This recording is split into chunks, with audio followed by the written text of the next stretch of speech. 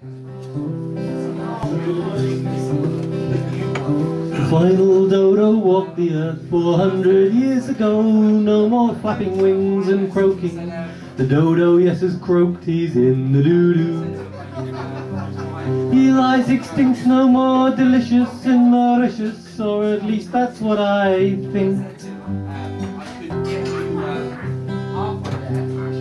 Salvador Dali died in 1989 with the artist of moustaches like his anti-artist predecessor Dada.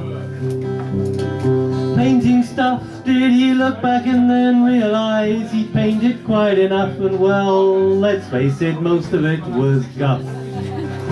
Da da da, Dali died, the do do died, da da da. Dolly died, da da da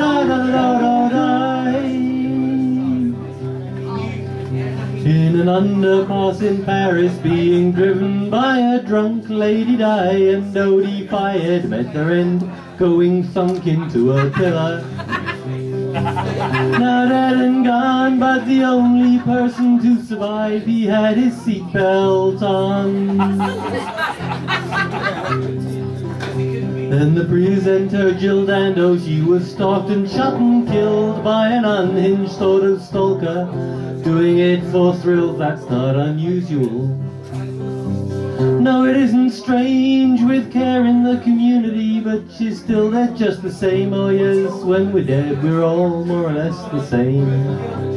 Da da da, dolly die, da do die, da da die.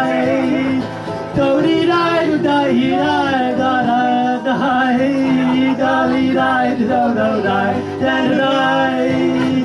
Dodi died, die, he died, die.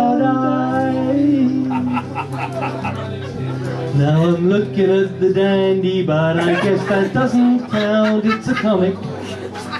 And then there is just a cartoon, so why should I care? But who's still there on her own?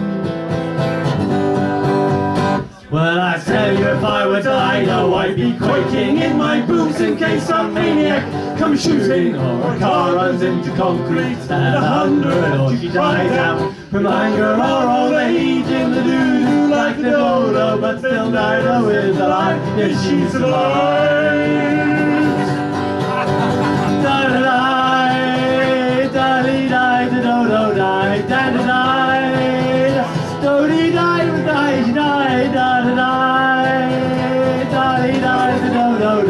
Da-da-die.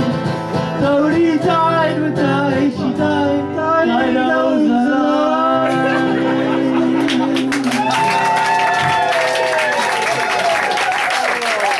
It's really human on Clark everywhere.